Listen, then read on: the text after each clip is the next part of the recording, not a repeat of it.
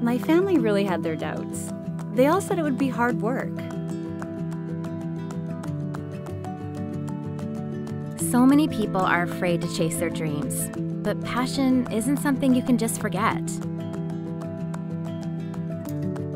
I've always followed my own path. I wanted to be different, do something outside the box. George Brown taught me it takes leadership, teamwork, and a whole lot of hard work.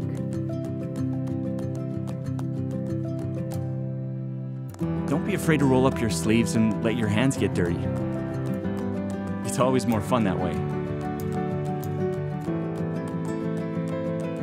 I didn't think you were allowed to enjoy school this much. But this whole experience has changed my mind. It didn't hurt to be mentored by some of the best teachers in the world.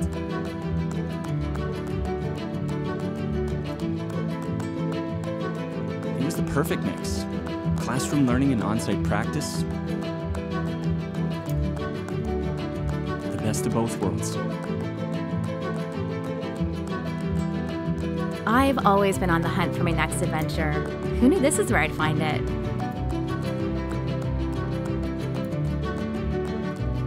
All you need Is to be at the right place at the right time.